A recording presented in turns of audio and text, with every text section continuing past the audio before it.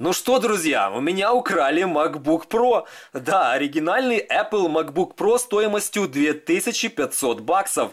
И кто украл? Новая почта. Лидер экспресс-доставки в Украине. Э, да, уже все факты, друзья, известны, потому что прошел где-то уже месяц, э, уже известно что, когда и кто. Я сейчас вам все вкратце расскажу, даже покажу видос, поскольку я делал видеозапись, э, что же приехало в итоге. Сейчас также и видео покажу.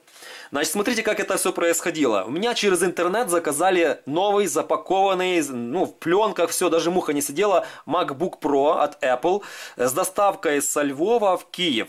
Наложенным платежом с постоплатой, да, через э, новую почту. Ну, я согласился, говорю, без проблем, но попросил даже еще часть денег как залог за доставку на случай, если кто-то не придет за моим макбуком. Вот, даже мне отправили часть денег на мою карточку виза, каким-то там переводом сделали откуда-то. Э, вот, и скинули адрес, куда отправлять на киевское отделение. Я прихожу на э, новую почту со своим макбуком. Сейчас вам покажу, как он выглядел, потому что его уже нет. Э, вот такой вот MacBook, коробка обычная, как видите, все в пленках, все запакованное, все новое отдаю эту коробку с макбуком. Они эту коробку еще пакуют на новой почте, еще в свою коробку фирменную, гофрокартонную, такую плоскую, наверное, специальную для макбуков. Обматывают потом это все еще скотчами. Ну, я пишу в декларации, что это у меня MacBook Pro стоимостью 65 тысяч гривен и что мне должны вернуть наложкой 65 тысяч гривен также. Оценочная стоимость 65 тысяч гривен. Вот. Это, две, ну, это где-то две с половиной тысячи баксов. Указано, что это ноутбук. Э, обратная доставка денег у нас 64 850 гривен. Есть печать новой почты на бумажке декларации нашей, да. И здесь указано в дополнительной информации, что это у нас после оплаты и ноутбук в блистерной упаковке. Блин, видно вам или нет? Вот. Блистерной упаковке и email указанный. Все заполнено, как и должно быть. Это у нас э, декларация новой почты. Все, жду где-то один день, жду где-то второй, третий день. Смотрю по интернету, что как бы посылка уже на киевском отделении, но ее никто не забирает. Звоню я этому покупателю, ну, на этот номер, но номер уже, друзья, номер уже все, не отвечает, его уже скинули, наверное, пару дней назад. Ну, я жду еще четвертый день, пятый день, думаю, может, всякое там бывает. Уже мне с новой почты даже звонят. Я говорю, давайте, ребята, оформляем возврат назад во Львов. Короче, делаем мы возврат. Прихожу я на отделение уже у себя в городе, забирает свой MacBook.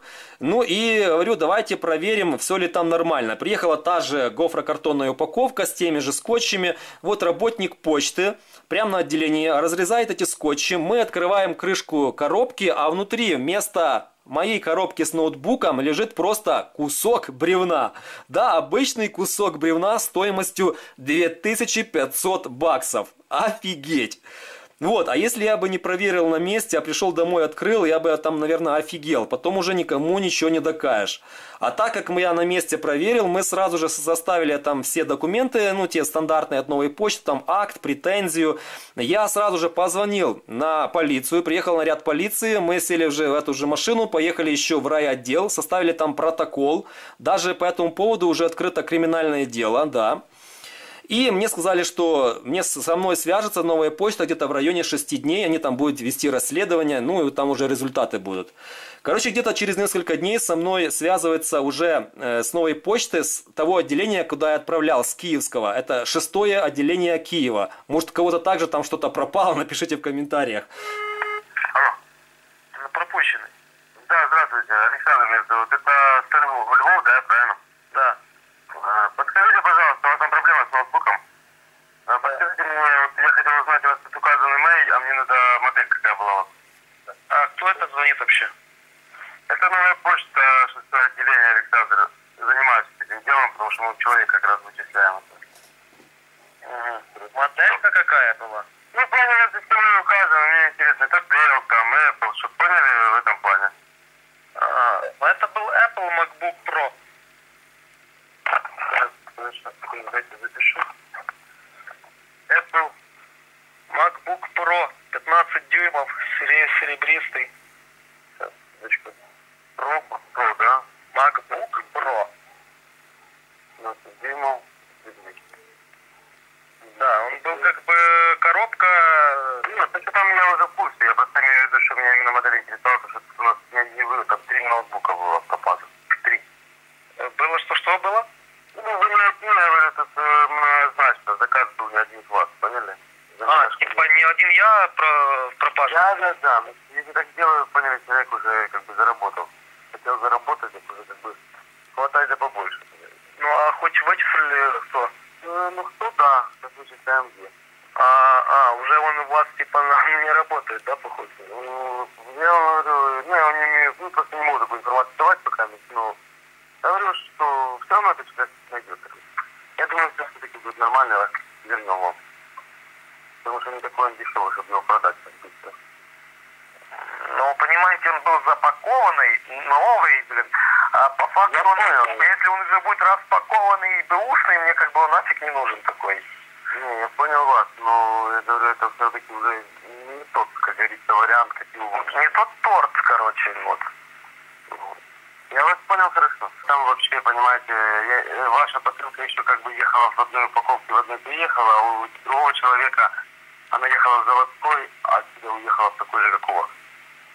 Понимаете, то есть только что всё по факту видно. Что именно явно подмена была в этом. Ну, короче, где-то через, не знаю, где-то через неделю, наверное, со мной связывается уже с юридического отдела новой почты девушка. Говорит, что по моей претензии приняли решение сделать мне полный возврат стоимости товара, это 65 тысяч гривен. Наверное, не нашли они этого чувака. И говорят, что будет выплата у меня где-то через несколько дней. Через несколько дней приходит мне на карточку 14 тысяч гривен от новой почты. Ну, не 65, а 14. Я звоню на эту почту, говорю, ребята, а что 14, где 65? Алло. Добрый день, Ростислав. Добрый, да. Беспокоит компания «Новая почта». Меня зовут Артем. Вам удобно сейчас говорить? Да, да. Я звоню по поводу претензий, которые вы оставляли на отделении. Хотели вам сообщить, что информация была передана в бухгалтерию. Денежная компенсация должна быть в полном объеме доставлена э, на протяжении следующей недели до пятницы. Подождите, как это до пятницы? Уже должна была быть до, до вчера вся опла- оплата сделана. а Нам сообщили, что частично было отправлено 14 тысяч гривен. Сегодня еще должны быть э, отправлены 14 тысяч гривен. После чего Как с понедельника. Как это 14 тысяч частично? Ну, Зачем мне частично? Мне нужна полная сумма сразу. Ну, Такую сумму 65 тысяч гривен выплачивает бухгалтерия частично. А То есть почему так? Через несколько платежей, так как невозможно выплатить сразу 65 тысяч. Но, как мне объяснили, что они такой суммы сразу не имеют большой, поэтому они будут мне бросать по 14 тысяч. Но я думаю, что там какие-то есть лимиты, ну, хрен с ним. Мне пришла вся сумма. За несколько дней я получил полностью деньги. Где-то прошло с момента кражи и до момента получения всей суммы где-то месяц, друзья. Да, где-то месяц. Но деньги я свои получил. Э, Ну, какие, друзья, претензии к почте? Мне это вернули деньги, да? Мне вернули то, что и так мое. Этот ноутбук и так мой. И что, я должен еще сказать спасибо за то, что вернули то, что и так принадлежит мне? А время? Прошел месяц, я потратил месяц на это все, чтобы вернули мне мои деньги. Потраченное время. Потраченное время на то, чтобы я ходил где-то там э, в райотдел, писал, писал какие-то заявления и так далее. Нервов сколько на это все пошло в ожидании, да? Еще плюс я утерял часть, потерял часть денег, поскольку возврат, э, вот компенсация 65 тысяч произошла мне на карту, э, ну, ну, на карточку виза. Поскольку наличкой, а новая почта не хочет возвращать. А вот если на карту, тогда, конечно же, деньги заходят с комиссией банка. О чем я, предупр- о чем я предупр- предупредил новую почту. Говорю, друзья, э, вы мне деньги-то перечислите, но мне деньги-то придут не 65 тысяч, а меньше, потому что здесь комиссия банка, давайте что-то или больше, или давайте мне наличкой. Но мне новая почта, знаете, что ответила? Говорят, «Э, короче, чувак, это твои проблемы, иди себе решай своим банком. На, нас это не волнует. Вот такой вот сервис, послали меня культурно нафиг. Вот, и плюс еще, друзья, утерянная выгода, да? За этот месяц я на этом ноутбуке мог уже работать и заработать какие-нибудь деньги. Или купить что-то себе другое и также работать на этом, и также заработать деньги. А так я месяц ждал, ничего не работал, ничего не заработал. Вернули мне мои деньги еще даже минус меньше, чем э, я вот оценил этот ноутбук. Так что только одни потери. Если новая почта мне вернула все вот эти затраты, и время, и деньги, и нервы, и утерянную выгоду, и плюс мои деньги за ноутбук, тогда да. А так у меня куча вопросов к новой почте. Так что вот таким вот образом могут украсть ваш MacBook, телефон, ну или любой другой товар на новой почте. И хорошо, что я указал в декларации, что стоимость моего ноутбука 65 тысяч гривен, а не 100 гривен, к примеру, да, чтобы сэкономить на услугах новой почты. Ну, как все обычно и делают. Указал бы, что 100 гривен, да, стоимость э, товара.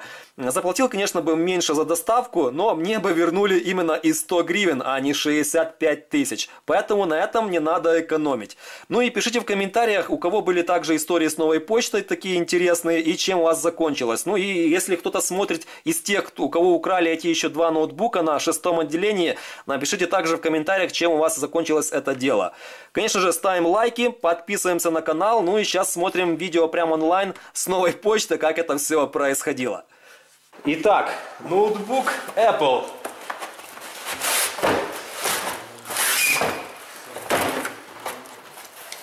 Открываем. Вуаля! Ноутбук, блок питания и удлинитель. Вот такой вот набор. Две с половиной штуки баксов. Новая почта. Рекомендую.